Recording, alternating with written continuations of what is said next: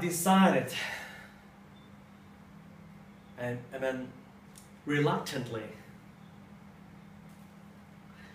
reluctantly decided to make this video with just one simple thought always drilled inside my soul that, well, you might already knew what I'm about to say. People ask me, Mark, please help me. I wanted to wisely design, fastidiously design whether I should go for the MacBook Air 11 inch 2015 or the MacBook 2015. The thing is, I didn't want to make this video because I, I thought probably like people do more homeworks today before they execute their final decision to purchase something with their hard-earned money. Okay, I'll, well, I'll go ahead and move forward. Don't buy both. The MacBook early 2015 is merely an iPad Air 2. The actual speed of the processor is only 900 megahertz, not even 1 gigahertz. It has been overclocked beforehand. It's extremely slow. Force touch trackpad, butterfly mechanism-based keyboard. That's not the issues, but it has only one port. There is one common denominators. When we talk about the first generation of Apple products, they all have one thing in common and one thing only. Try not to buy the first generation. That MacBook is not the MacBook. They use the name MacBook, it's not the MacBook. It's another version of the MacBook Air 11 inch. It's merely because it's merely an iPad, it's merely a tablet. It's like the Microsoft bloody Surface Pro right here. I got the Microsoft Surface Pro with the uh, with the kickstand and uh, the keyboard cover here.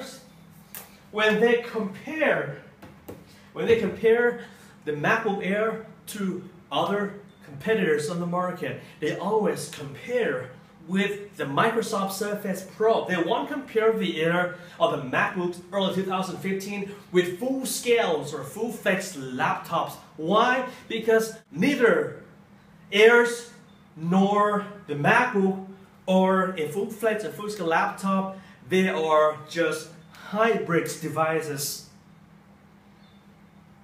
They're tablets, look like laptops. Try not to buy the Air because I didn't see huge development compared to its predecessor or the previous generation or the prior model. No faster internal storage. Just Thunderbolt 2 can hook up to 4K display up to 60 Hz of refresh rate baloney. Because the thing is, try to buy the 13-inch MacBook Air because if you buy the 13-inch MacBook Air first, well, not just, well, not just larger screen.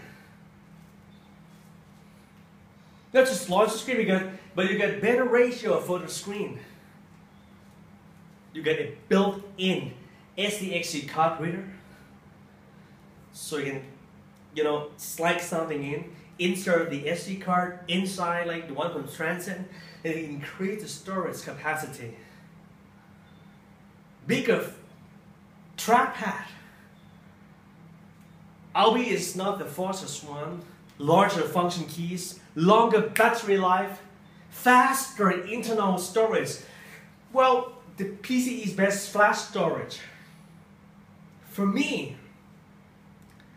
Try not to buy the first generation early 2015 MacBook and try not to buy the 2015 MacBook Air 11 inch. Wait for the upcoming, the one with Skylake. I'm not saying you're gonna have to buy that, but try not to buy the early 2015 MacBook Air 11 inch. Wait for the one, Skylake one, with probably, the thing is, you know what? I'm, I'm, I'm really serious about this.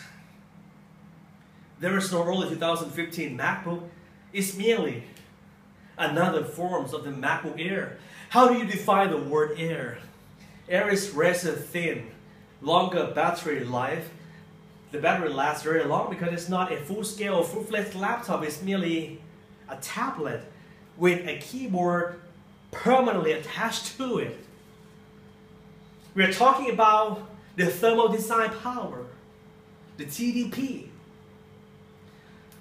When the processor reaches certain levels, temperature stop performance in order to stop that processor from being overheat. So therefore, it's light, it's cheap, the battery lasts pretty long because it's a tablet, but you can't do like heavy duty tasks. You can't do like graphic intensive tasks or CPU intensive tasks. So my verdict is, don't buy both of them. Wait. If you really want to buy one, try not, well, I, I slightly recommend the Air 11 inch more than the early 2015 MacBook. But I strongly recommend that you should buy the 13 inch MacBook Air early 2015. Sorry if you already knew everything that I was saying. I'm sorry. Thanks for watching.